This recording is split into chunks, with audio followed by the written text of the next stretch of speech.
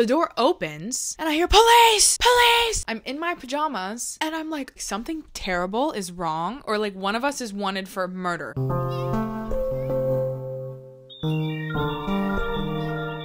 What's up, everyone? Do you guys like my microphone?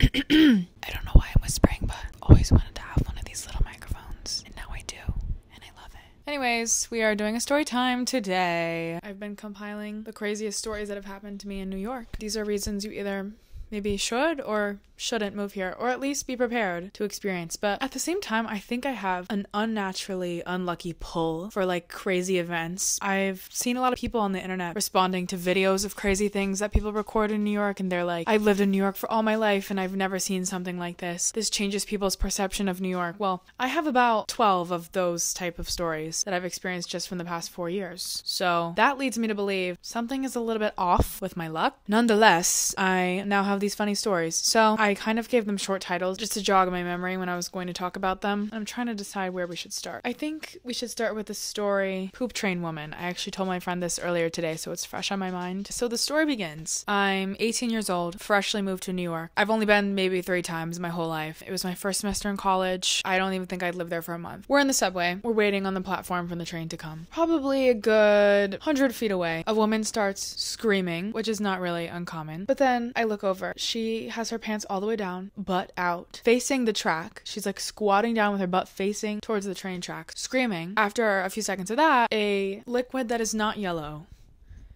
starts projectile exiting from her rear end all over the floor. A few seconds later, a giant wafting cloud of a certain scent makes its way down to the platform. Everyone is turning around and walking the other way because it's nauseating. I- I've never smelled something quite like that in my life. So everyone's turning around and leaving. So that makes her very angry. Once she finishes her situation, she then turns around, picks up her things off the floor, which is a like an umbrella stick, and begins chasing after people, screaming and yelling at them, beating them with the stick. At this point, the train comes. Me and all the people I'm with, we just get on the train thinking we'll be safe. No. She comes into our train car and is hitting everyone with the stick. She's coming closer and closer and closer. I am like a deer in headlights. Like, what can you even do? What can you even do? I have nothing on me. I'm just gonna get hit with the umbrella stick. I'm like, prepared. I'm like, okay, she's gonna hit me. It's gonna be fine. Some random lady with this giant shopping bag shoots her arm out, hits the woman with the shopping bag, and the woman gets angry, runs off the train, doors close, and we continue on our journey. Like I said, that was probably within my first month of living in New York. Very quickly, I became desensitized to a lot. Yeah, I'll never forget that one though. So that was Poop Train Woman. Believe it or not, I also have a Poop Train Man story. So how did this one go? Me and my friend were coming from Grand Central. We had just been out of New York for the weekend, just got back. We're on the train riding back to our dorm. A man comes, and there is a very suspicious stain right in the center of the back of his pants that is also not yellow. He's coming down the subway car. Following is again another glorious waft of a very unpleasant smell. I knew immediately that this was now happening again because of my experience with Poop Train Woman. And he's yelling at people. He's like standing in front of people and yelling at them comes in front of me, yelling, screaming. I'm just like, um, and there is a very suspicious substance on his hands. So I'm just sitting there. I can't believe this is um this story time is starting out this way. I'm really sorry. Maybe I should have not put the most disgusting ones at the front, but it was the freshest on my mind. No pun intended. In those moments, like I don't know, you just kind of black out, pray to God, hope it passes without you getting touched. He didn't touch me. I survived, and that was Poop Train Man. What next? Oh, this is a good one. Okay, so my first ever New York apartment. I was 19 this time. We lived on the very top floor. I was sleeping all night long. I woke up at like 7 in the morning to pounding on my front door. But I was in my room, in my bedroom with the door shut, and people were banging on the door. And I hear, open up, open up. And I'm like, what? Like, I can't even like formulate. I just am in shock. I'm like, what is going on? I start to get out of bed and try to figure if I should walk outside or not. Also, I think my roommates are home. I'm not really sure. I know at least one of them is. And I'm like, is she hearing this? Like, what's like, there's no way you couldn't be hearing. They're screaming and pounding on the door. The door opens and I hear police, police. And I'm like, what? Oh, no, what the hell? Like I said, I just woke up. I wasn't really all there yet. I'm in my pajamas. I open the door and there's two police officers standing in the middle of our kitchen. And I'm like, oh my God, like something terrible is wrong. Or like one of us is wanted for murder. You would have thought they had been sent there with the warrant for our arrest. Also, my other roommate is not coming out of the door. It's just me in my pajamas facing these officers. They start asking if we have a roommate, what's her name. And I'm like, oh my God, something is horribly, horribly wrong. They're like, yeah, so we got a report last night that a package was stolen and it was your roommate's package. Oh. Hey. It was your roommate's package. We caught the guy in your building and he had a knife. To this day, every time I tell the story, it gets a little bit weirder because there's just no scenario where they should have entered the apartment. It was seven in the morning and there was nothing wrong. They had found our friend's package. That's a phone call. That is not a screaming banging on the door. And yes, the door was unlocked. Yes, that was our fault. Like I said, we were freshly 19, young and dumb, but we also kept our door locked all the time. It was just a very chance happening. But still, in any situation, what made them take their hand, try the door, and then when it was unlocked, open the door, enter the apartment, yelling at 7 in the morning for a stolen package that they had found and a thief that had been caught. To this day, I still don't get that. You would have thought that we were somehow involved in this package stealing ring, as if my roommate like wasn't the victim of whatever happened. And I couldn't get them to leave. Like once they had explained why they were here, and everyone's looking around a little confused. Okay, like so why exactly are you here though? And then the guy wants to like look around the apartment. He goes up to the roof on our stairs. I'm like, what in the world? Like, what is going on? So they left, I guess. They, I don't even remember. It was traumatic and it took me two weeks, really, I think, to process it and even tell my mom like what had happened because I was so confused and I was like, have I done something wrong? Years later, the only fault of mine was having my door open. Other than that, I was just shocked. That was my story called Police Bursting into My Apartment at 7 a.m. when Roommate Lost Package. Okay, we'll tell a funny one. One that's not as traumatic, but traumatic in its own right. This one is called Chris Rock Bakery. So, how old was I? I think 19 again here. This is when I was living in that same apartment. I was working at a bakery. It was in an area. It wasn't uncommon for a celebrity to walk in, but a celebrity never had. It was a purple lilac bakery. They sold like $20 cookies. It was like the very end of my shift. Like, we probably had an hour left. So, the way it worked, we had like two girls who worked the counter. You sell the cookies, check people out. Then we have bakers in the back. Like I said, it was late at night, so it was only three of us there. It was a small establishment. Like the back was only separated by a thin curtain that we just kind of moved out of the way and we needed to go back there. People were always asking the exact same question, which was how do you get the custom cookies? Because they would print people's faces on cookies, but we couldn't do it in the store. You had to order it online. So all day you answer questions about people asking about the process. This guy comes in, he's asking me 50 million questions about the process. I'm explaining it all. Another guy walks in the store. I notice him, but not too much. He's just wearing like a long coat, glasses. You can't really see his face. All of a sudden he opens his mouth and starts speaking, and it's Chris Rock. I I don't know what happened. I'm not even like a huge fan of Chris Rock. I mean, maybe I'm a bigger fan than I thought. I just hear his voice and I'm like, is that Chris Rock? Like he just has an unforgettable voice. You would recognize Chris Rock's voice anywhere. And if you think that you wouldn't, you would. Even if you're not a Chris Rock fan, you would put your head up. I never understood the feeling of being starstruck until this very moment. I don't know what happened to me. It was like my entire soul and personality left my body and I was an empty shell of a person and I couldn't even remember my name, what direction was what, what day, what year, who was the president, nothing. I'm just like staring at him and this guy is still asking me questions and I'm looking at him like, "Do you not hear? Chris Rock is standing next to you. And I'm looking at Chris Rock. He's talking, and I'm like, does he know he's Chris Rock? Because everyone's acting super normal about this, as if Chris Rock is not just standing in this purple lilac princess style custom $20 cookie bakery. And he's like trying to order from my friend, and he wants six chocolate chip cookies. So my friend goes to the back to check because, like I said, it's the end of the day, and we run out of cookies by the end of the day, especially chocolate chip because they were so popular. Like I said, the back is only separated by a curtain. Okay, she runs behind the curtain, which is open, like you can hear everything. She goes, guys, guys, Chris Rock, Chris Rock is here. Chris fucking Rock just walked in. And so I'm like standing there staring at him like, Hi. Couldn't think of a word to say because he also wasn't giving off the vibe that he wanted to talk or be recognized. He probably just wanted to be a person. And I felt so bad for what was going on, but I had no control over my body. And I was just like, ha. How are you? So weird. The baker, who was in the bathroom, comes out of the bathroom, comes out of the curtain. Same thing lifeless, soulless. Personality leaves his body. We don't have the cookies either. We're out of the cookies. So now we're all standing there looking at him with our mouths on the floor, acting like it's the first day all three of us have ever been on Earth. And he looks at us. He's like, you know what? Just forget it. Turns around, leaves. We're all standing there like, I was more shocked at the way that I reacted than I was shocked about it being Chris Rock. That was one of the most embarrassing, humbling experiences I've ever had.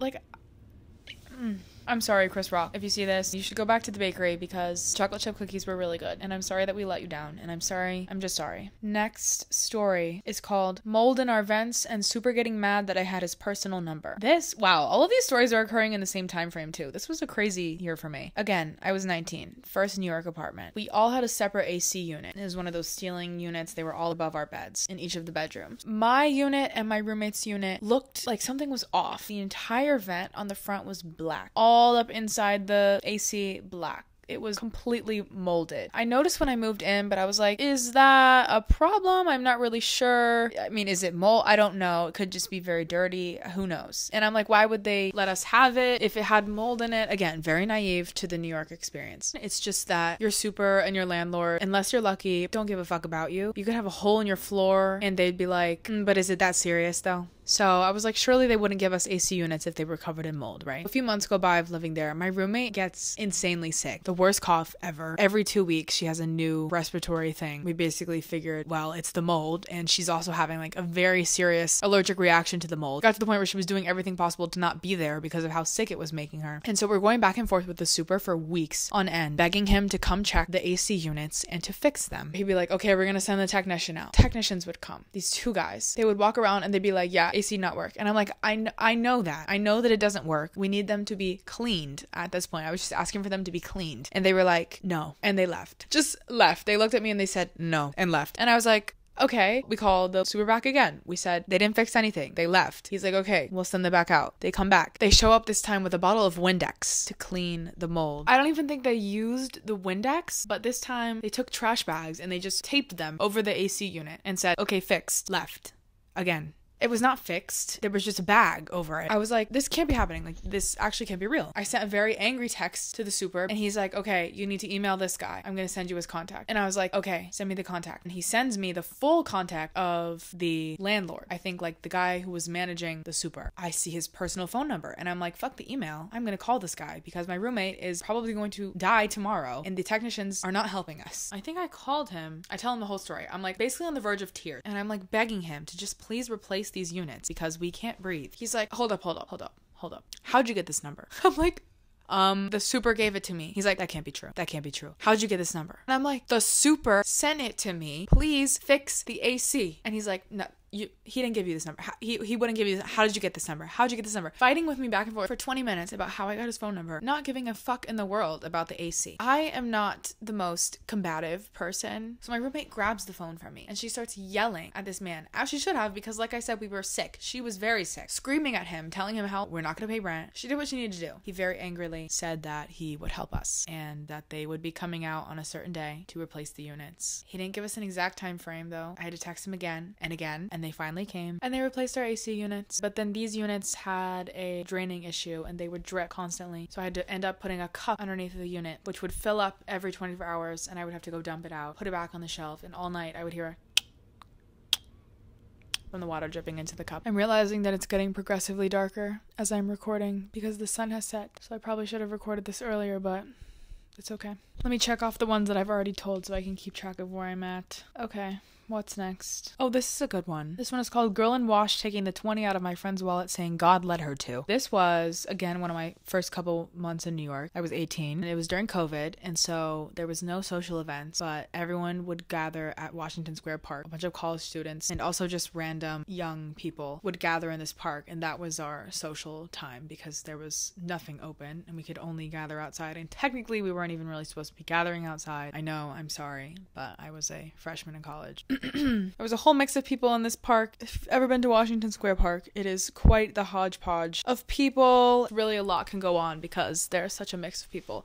So it was the end of the night, and this woman came up to my friend and asked her for money. And so my friend gets out her wallet, is going to give her some money, and she has all of her cash in one place. She has a $20 bill. I think she either pulled out a 5 or a 10 to give to the woman. And the woman sees the 20. And the woman's like, uh, how about that 20? Give me that 20.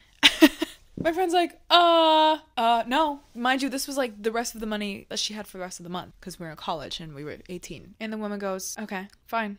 And leaves. The woman is going to other people around us. All of a sudden, she circles back. She comes back to my friend and she's like, You know what? I just, I really feel the need to tell you this. I'm feeling led to tell you this. God has led me back to you. God led me to you in the first place. God has led me back. I feel called to get this 20 from you. He has chosen you to give me this money. I feel called. God is telling me. God is telling me that is my 20. And we're like, what? I don't remember what my friend ended up saying. I think she cussed at my friend and then left. So shout out to her and I hope that God led her to receive the 20 that she deserved. Um, this one is called Guy Dying in the Doorway. Paramedics show up and hit the person on the bike. This was sometime I think in June of 2022. I remember that day because it was when Roe v. Wade got repealed. I had to work that day and it almost felt like I should take off work because it was just such a I don't know, I just couldn't comprehend what was happening. And people were organizing protests later in Washington Square Park. So I got off work and the protest was starting, so I was kind of rushing home because I wanted to get there. I was meeting my friends. We were going to go protest. I'm running home to my apartment apartment. As I get closer, I can see my doorway from the top of the street, and I see a pair of legs just jutted out from the doorway. So I'm getting closer, I'm closer, and I see that this man with his socks on and his shoes are like off. They're just next to him. Like he laid down for a nap, took his shoes off, laid down right in the doorway, right in my door,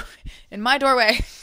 he was passing out. I don't know what he had done or what had gotten him to this point. I was assuming he was probably not in a very healthy state. So I call 911 and I'm like, "Hi, um, I'm trying to get into my apartment. This man is unconscious in the doorway. I think he needs help." And they're like, "Okay, we'll send an ambulance." The paramedics finally show up and they're taking forever to get out of the car. As soon as they do, the guy opens his door, a biker is coming down the street. The biker smacks into the door of the ambulance, hits the floor, falls off his bike, and he's like, oh, oh, oh. And what are the odds that the car that you smack into is an ambulance? Then they start looking at this guy and they're trying to figure out this situation because he is hurt and fell off his bike and crashed. And I'm like, hello, the man over here in the door is also dying. And they're like, oh, they come over and they're staring at him. An older lady at this time is passing by. She sees the situation that's going on. She can very clearly assess the state that this man is in and the help that he needs. And she's like, I'm a nurse. He needs Narcan. The paramedics are like, uh, we don't have Narcan. And so then she proceeds to start cussing them out, being like, how are you a paramedic in New York City and you don't have Narcan? I too was very shocked by this. The guy on the bike is rolling around the ground, moaning and groaning still. The lady is cussing out the paramedics for not having Narcan. The guy is still dying in the doorway, still not awake. She goes over, she starts yelling and snapping in his face. He almost starts coming to, but not really. At this time, a fire truck pulls up. A bunch of firemen hop out. They have these gigantic tools. Who's stuck in the doorway? Who's stuck in the doorway? And I'm like, no one's stuck in the doorway. He's just in the doorway. And they're like, what? They said we needed a forced entry. And I'm like, no, I never said that. And they are angry. They are so mad. They're like, are you fucking serious? Oh my god. They have like all these tools. And I get it. They came for no reason. They look at the man in the doorway who still needs help. They don't care at all. They're just mad that they're even there. So they turn around and they leave. The paramedics start helping the guy. He kind of starts waking up a little bit. They try to lift him up. They try to help him. He starts violently screaming, saying, Get off him. That he doesn't want help. He doesn't want to go. And they're like,